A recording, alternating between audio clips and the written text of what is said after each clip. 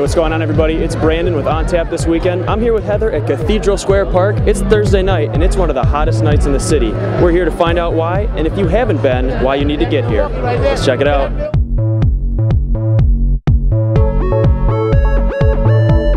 What is it about going out on a Thursday night compared to other nights that's a draw for you?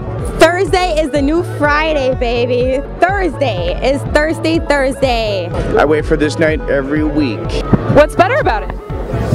Well, if you don't have to work the next morning, then it's a three day weekend. We get together, bring out a couple beers, and just kick back and relax. It's almost the weekend. I think it just gets people out of the house. It's summertime, and Thursdays are an awesome night. They always have been in Milwaukee.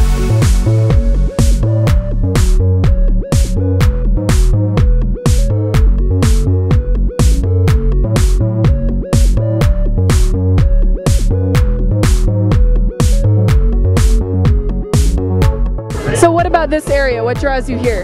Alcohol. And you? Where else do you go where they have a park like this and all these like different kinds of people hanging out? Like there's no other place really in the other areas to do to do this. I bet you see some pretty fun people walking these streets.